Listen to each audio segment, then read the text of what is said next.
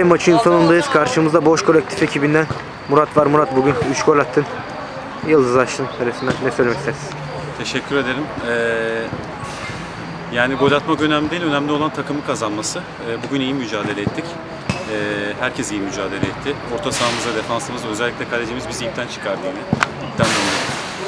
Ee, her hafta olduğu gibi e, kazanmak için çıkıyoruz sahaya. Ee, galibiyet serimizi devam ettirmek istiyoruz. Dediğim gibi önemli olan gol atmak değil, ee, takımın kazanmasıydı. Ben buradan daha önceki röportajlarımda olduğu gibi izin verirseniz yine e, yurt dışına bir mesaj göndermek istiyorum. Tabii ki. Gerek yerleri İngilizce. Again I scored for you and all the goals I, I scored were for you. Teşekkür Teşekkür ederim. Önümüzdeki maçlarda başarılar.